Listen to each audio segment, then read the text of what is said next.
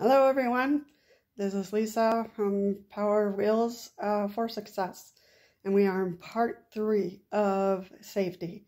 Uh, this one is a little bit darker, has a darker tone to it because we're going to be talking about people who do not mean us well, that they will attempt something against us. So we have to, unfortunately, think about those things. Uh, one tip is to go with someone, that you're not by yourself, okay?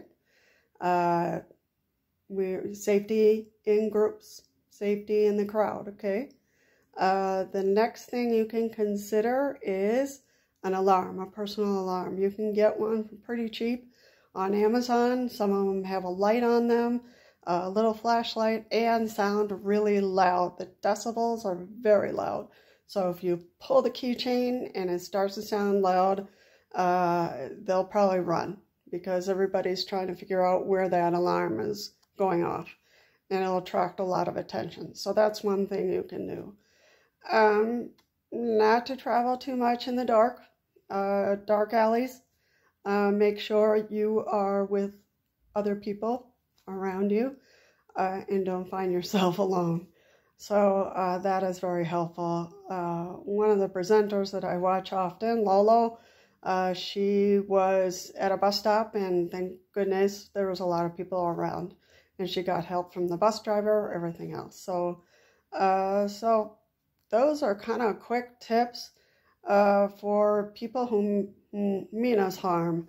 Uh, and we have to be careful with that because we are vulnerable. So you want to be careful. Um, who you're with and who you are not with. So uh, just keep that in mind when you're traveling. Uh, so if you have any other tips, uh, make a list down below. Uh, or if you have a story you would like to tell, uh, that kind of helps us also to think about what we need to do to be safe when others mean us harm. So uh, it's it's important to think twice about those things uh, and not to just leave it at the four winds. So I'll leave it at that.